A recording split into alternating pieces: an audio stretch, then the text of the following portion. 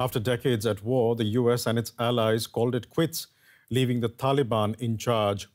And if there's a set of images that best capture how Afghans reacted to the Taliban takeover, it is these. Desperate people clinging onto a US military plane as it departs Kabul airport. Images from the 16th of August, the day after the Taliban entered Kabul. The city's airport would go on to see worse scenes of death and hopelessness as people struggled to leave the country. All of this leading to inevitable finger pointing at the United States for, quote, abandoning Afghans. President Joe Biden would have none of that. American troops cannot and should not be fighting in a war and dying in a war that Afghan forces are not willing to fight for themselves. Now, there is some truth to that. While many brave Afghan soldiers did fight, thousands did surrender to the Taliban. For Afghans, of course, that meant dealing with the Taliban they feared would exact revenge on people who worked for Western nations. Thousands camped out in muck and waste outside Kabul airport, hoping to be airlifted. A suicide bomb killed more than 100. And just hours before the August 31st deadline, the last US soldier boarded the last military plane out, leaving the Taliban fully in charge. Now, Ali Latifi is one of many who was there as the Taliban took over. He's an Afghan journalist whom I've spoken with over the years about developments in Afghanistan. He's in Doha now, and I reached out to him to ask what it was like in Kabul in those weeks of transition. We, to, to be quite honest, everyone thought that, you know, the day the Taliban would come, the world would end, that there would be you know mass killings on the street blood everywhere that you know it would essentially be like an armageddon. Um, and luckily it didn't turn out that way you know uh, the, there was a lot of fear especially like the day on august 15th when there were rumors that the taliban were coming into the city. You know i was out in a very um, busy highly trafficked area of the city going to meet a friend uh, for lunch when you know I just saw hundreds of people just running in each direction. It looked like a disaster movie, and you know I it was the last time I had my headphones on on the streets of Kabul. I take off my headphones and I'm like, what's going on? And people are saying the Taliban are coming, the Taliban are coming. And everybody was just running, screaming, like just trying to get into cars, trying to get away, um, just panicking. It turned out that it was a completely false alarm, and you know they didn't end up coming until the middle of the night.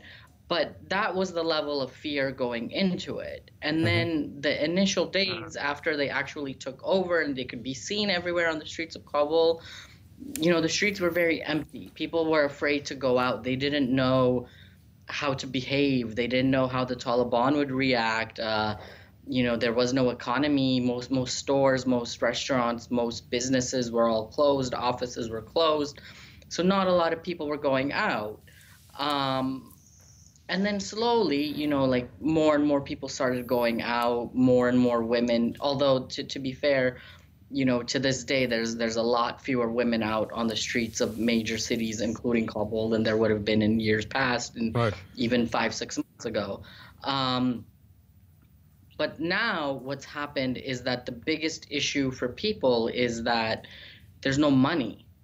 There's no money anywhere. And, you know, Afghanistan is an entirely cash based society. Right. It's the kind of place where if you don't have physical money, you don't eat. And that has become the reality for everybody in the country now. You know, even if you were, you know, a and millionaire. That, that is something. I'm sorry to interrupt you, but it's like it's something that we are seeing uh, firsthand. Our correspondents have been to Kabul and they have seen that, yeah. which basically leads me to ask you: Do you think that the Taliban can actually run a country? So far, they haven't shown it. Because if you look at it, it's been four months since they took power, and the Taliban have not shown anything that shows how they would run a country. You know, they haven't put forth any specific exact laws saying this is exactly what we want. You know, they haven't set up, say, like a specific tax code. They haven't. Um, they haven't made any official statements to say that these are this is the way we envision this country you know, it's been four months, and I can't think of anything that they did that is a concrete example of how they want to run the country or an achievement or a step right. forward. I mean, you know, we're still using old passports from the Republic. People are still getting documents that say the Islamic Republic on top of it. Um, you know, they they have you know there, there's nothing. There's no specific law. There's no uh, re- there's no guidance into, into, what they want a country to look like. Uh, we'll have to leave it there for the time being. Ali Latifi joining us from uh, Doha with a very first-person perspective. Thank you so much, Ali, for joining us today. Thank you. Okay, thank you. So the Taliban have done the fighting. Now they need to do the governing. And based on what Ali Latifi just said, they appear to be failing. It's something DW correspondent Nick Connolly witnessed firsthand when he was in Afghanistan in September. This is his report. With Afghanistan's foreign reserves frozen, the Taliban administration has chosen to paralyze the banking system in an attempt to stop hard currency flooding out of the country. In the process, they've brought the whole economy to a grinding halt. I'm just waiting for my salary. I don't know the future. No one is okay. Everyone is depressed here in Afghanistan. No one dares challenge them for now, but Afghanistan's new Taliban rulers know full well that tensions are rising as ordinary Afghans' cash reserves run out and new jobs prove almost impossible to come by. These tradesmen tell us they haven't worked in weeks. Before, I would only work as a carpenter. Now, I'll clean toilets if I have to. We might end up starving or killing ourselves, and the Taliban will cut your hand off if you steal. In a country where nearly all basic foodstuffs, from rice to oil and flour, are imported, closed banks and currency controls mean rising prices and scarcity.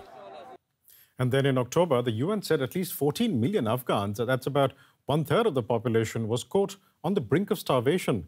The European Union pledged 1 billion euros in aid for Afghanistan. But as the World Food Programme told me back then, promises mean nothing without follow through. What does the international community need to be doing so that you can do your job in Afghanistan?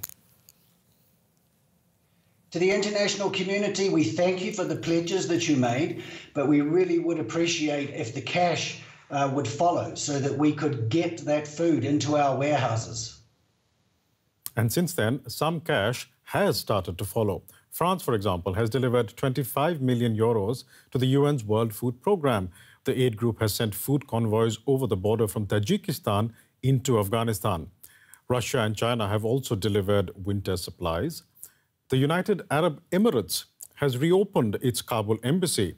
There are reports that Saudi Arabia and India intend to do the same. And China has met with the Taliban in Doha. Qatar is acting as an intermediary for other Western countries. Now, one can only imagine that efforts such as these will gather pace in the coming months. The people of Afghanistan need the world, and the world will hopefully step up. But while small steps are being taken for the people of Afghanistan, its women appear to be moving backwards. Since coming to power, the Taliban have made it nearly impossible for older girls to access education, for women to work in government jobs and be visible on TV screens. In a flash, some two decades of progress in women's rights have been lost. Back in September, here's how one Kabul University student described to us what she was feeling. You know, like when when someone is dreaming for, for a better life and working for 21 years to to to just reach the dream. And suddenly in one night everything just damaged. Just imagine. And now i i myself feel like i'm in a room where only there is a darkness, no hope for a better future or no hope for a light. This is the feeling that I really have.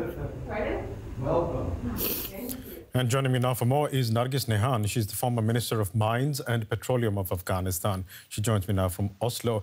Ms. Nehan, in today's Afghanistan, can women and girls be hopeful of a bright future? Um, uh, well, not at all, because you know the situation that since uh, Taliban has taken uh, control of the country, uh, the girls are not allowed to go to school. Uh, women are not allowed to go to uh, work. the women that they had business, all their business have disappeared and lost. the women journalists and activists are not able to continue their work. So there is nothing, even a small light, would give us the hope that the, situation will change. Uh, what we also see that while uh, the world has, is continuously engaging with the Taliban and is demanding uh, from the Taliban for uh, uplifting uh, their policies and coming up with moderate policies for uh, for women, but so far we don't see any change in Taliban policy. Very recently, they issued a decree. The decree is just focusing on women marriage. Marriage is not the only need that women have. Women have also, be for being an active part of the society, right. women need to have their freedom to be able to make all their choices. Uh, how would you say the world should engage with a regime that believes that women have a secondary place in society? Uh, very carefully and constructively with the Taliban, uh, especially that uh, we know that they, they, they want to take Afghanistan backward and they don't have any, they have very aggressive policies for women. So constructive diplomatic engagement is important to continue right. to be continued then a set of recommendations and benchmark for them to meet before their recognition, including formation of inclusive government uh, and changing their policies for women. And right. then after that, they will be able to get recognized. So I would say that the work should continue like that. And for this, their consistency, persistency, and working together with one voice is really important. We'll leave it there for the time being, but thank you so much for joining us today, Nargis Nehan.